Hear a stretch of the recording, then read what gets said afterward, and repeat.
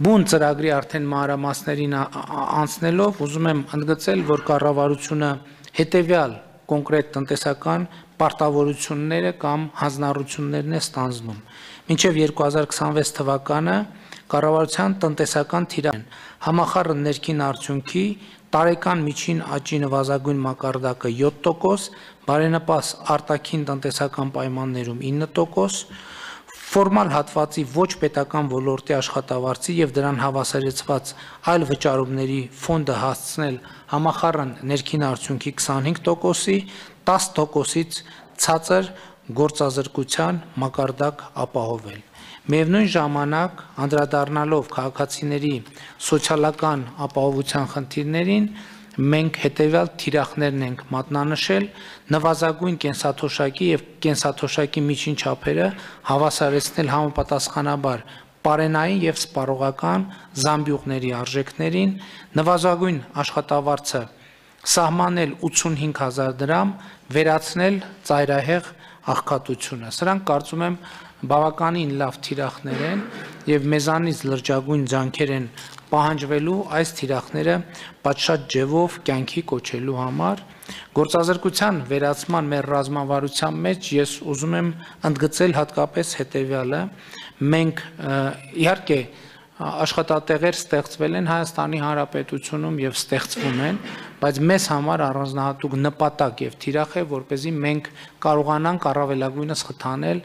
բարձր աշխատավարձային սեգմենտի աշխատատեղերը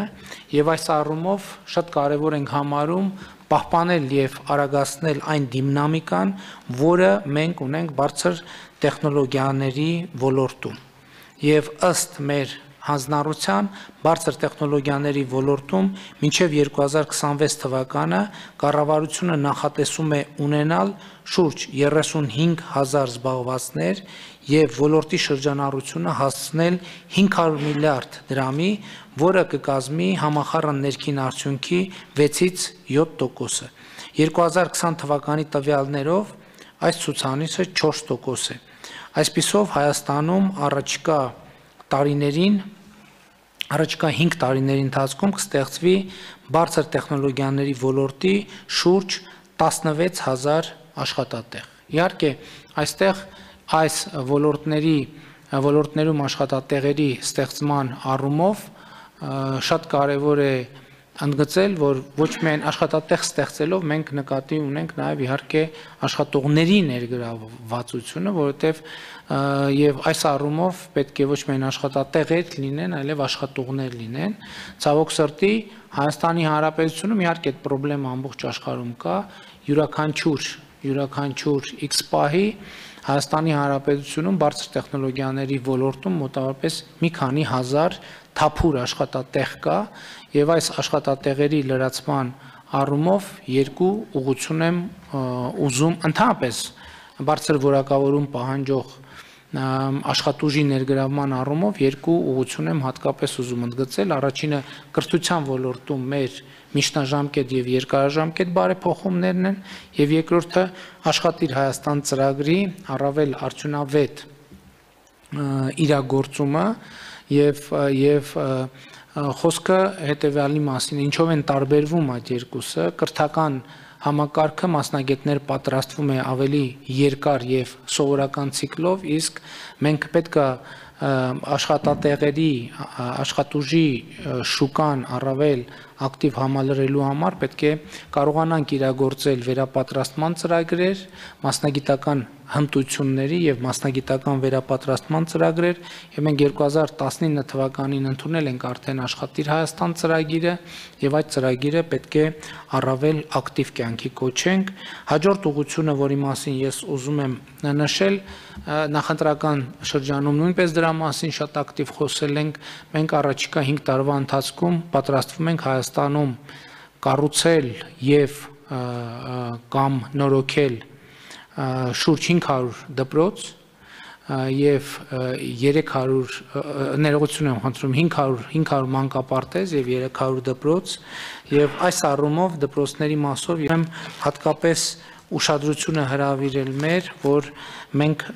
նպատակ ունենք մինչև 2026 թվականը հանրապետության բոլոր 1400 դպրոցներում ստեղծել ժամանակակից բնագիտական եւ ինժեներական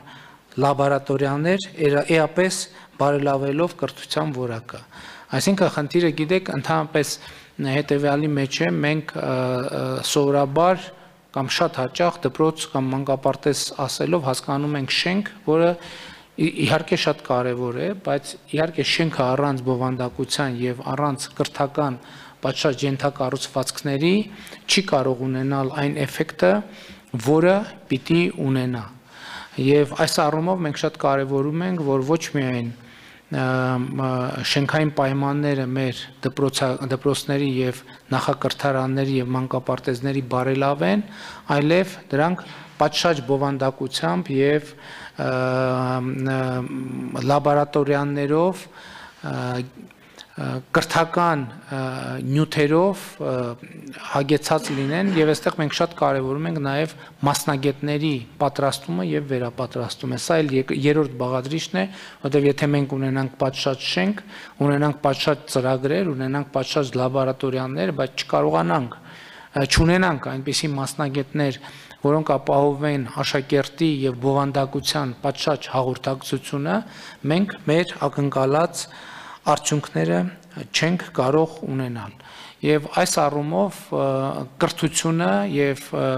կրթության, գիտության եւ բարձրագույն կրթության ոլորտում բարեփոխումները լինելու են մեր առանձնահատուկ ուշադրության կենտրոնում։ Շատ կարևոր եմ համարում նաեւ սոցիալական ոլորտում, ժողովրդագրության ոլորտում մեր ստանձնած պարտավորությունների իրագործումը։ Դուք տեղյակ եք, որ մենք հետեւյալ նախընտրական խոստումն ենք տվել եւ մենք այդ կետը ներառել ենք ծրագրում եւ մենք պատրաստվում ենք վճռականորեն իրականացնել այդ ծրագիրը խոսքը հետեւյալի մասին է որ երրորդ եւ հաջորդ երեխաների համար միջև 6 տարեկանը ամսական 50000 դրամ ֆինանսական աջակցություն տրամադրել բոլոր ընտանիքներին ես ուզում եմ ընդգծել որ խոսքը ոչ թե սոցիալապես անապահով ընտանիքների մասին է, այլև բացարձակապես բոլոր ընտանիքների մասին։ Այսինքն ընտանիքում 3 երրորդ եւ հաջորդ յուրաքանչյուր երեխա մինչև 6 տարեկանը կստանա 50000 դրամ աջակցություն եւ սա ժողովրդագրության ոլորտում կարևորագույն ծրագիր է իմիջայլոց ես ուզում եմ ընդգծել որ 2020 եւ 2010 2020 եւ 2021 թվականներին մենք ժողովրդագրական միտումների որոշակի շոշափելի առաջընթաց ենք տեսնում, մասնավորապես այս տարի մենք ավելի քան մեր ծնված երեխաների թիվը ավելի քան 1400-ով գերազանցում է նախորդ տարվա ցուցանիշը եւ ես կարծում եմ, որ հիմա շատ լավ պահ է, որ เป զի մենք ժողովրդագրական ծրագրերը դնենք ինստիտուցիոնալ հենքի վրա, որ เป զի կարողանանք էական տարբերություններ ունենալ այդ ոլորտում։ Իհարկե, այստեղ մենք պետք է արձանագրենք, որ խոսքը այս այս աջակցության ծրագիրը միայնակ չի կարող լուծել մեր առաջ արկա խնդիրը, ուզում եմ հիշեցնել, որ դեռևս 2019 թվականից մենք միջև 18 տարեկանների հիվանդանոցային կարիքները ամբողջությամբ հոգում ենք պետական բյուջեի հաշվին։ Ուզում եմ հիշեցնել, որ շատ կարևոր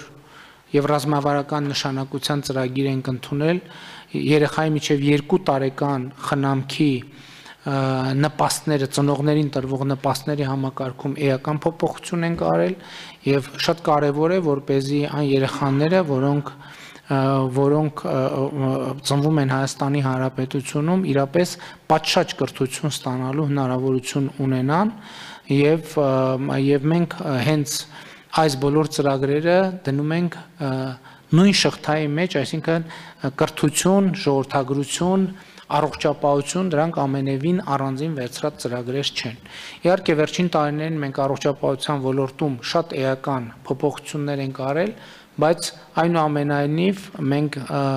եկել ենք հասել ենք մի կետի, որտեղ այլևս պետք են արմատական փոփոխություններ եւ մենք պիտի քաղաքական կամք դրսեւորենք եւ Հայաստանի Հանրապետությունում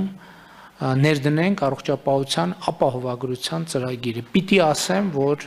ծրագրի բովանդակության հարցում մենք ըստ էության արդեն կողմնորոշվել ենք, որովհետև ուզում եմ ասել, որ այնպես չի, որ նախորդ տարիներին մենք այդ թեմայով